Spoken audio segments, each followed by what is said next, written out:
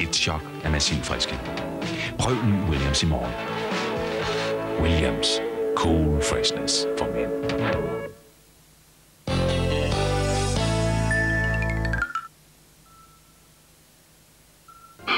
Som lika gärna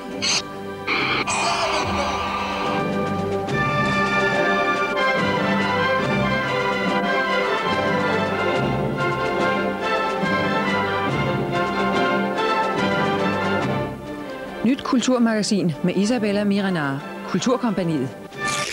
Tirsdag 21.30 her på TV2. I morgen aften kan de opleve en samtale mellem Miljøminister Svend Augen og præsident for Verdensnaturfonden, Englands prins Philip. En samtale om nutid og fremtid for verdens dyr og planter. Se med i morgen aften 21.55 her på TV2. Nu instruktør James Camerons forlængede version af science fiction-filmen Dybet, om et hold dykkere, der udover at finde den ubåd, de leder efter, også stifter bekendtskab med helt ukendte livsformer i dybet.